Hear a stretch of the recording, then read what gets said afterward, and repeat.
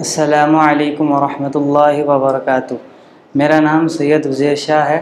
मैं बेंगलोर से बिलोंग करता हूँ। मैंने फिफ्थ स्टैंडर्ड तक स्कूल पढ़ी। उसके बाद दो साल मैंने स्कूल से गैप लिया और उसके बाद मैंने दो साल में अपना हिफ्ज़ मुकम्मल किया। उसके बाद एट स्टैंडर्ड से टेंथ तक मैं बेंगलोर से ही पढ़ा। टेंथ में मेरे मार्क्स थे नाइन्टी परसेंट और उसके बाद मैं शाहीन आ गया। शाहीन में मैंने दो साल मेहनत की और अल्हम्दुलिल्लाह, मेरा परसेंटेज है नाइन्टी परसेंट सेकेंड ईयर के एग्ज़ाम में। और अलहमदिल्ला शाहीन में बहुत अच्छा बहुत अच्छी पढ़ाई है और बहुत अच्छा ये लोग समझ के पढ़ाते हैं, आपका बहुत ख्याल रखते हैं।